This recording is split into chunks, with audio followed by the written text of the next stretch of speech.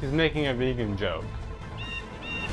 Like rabbit food, that kind of thing. Damage increase. Double